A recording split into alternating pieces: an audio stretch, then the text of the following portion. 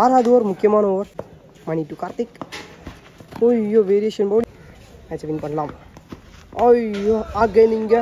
Dot பாலுங்க விழுந்த இடத்துலேருந்து லெக்கட்ட வேரியேஷன் டாட் பால் இன்னும் ரெண்டு பந்து இருக்கு. ஐயோ சூப்பர் பவுலிங் விழுந்த இடத்துலேருந்து அழகாக மாறுது இங்கே டாட் பால்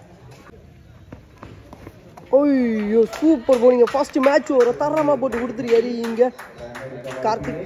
தோனி பைஸ் கார்த்திக்.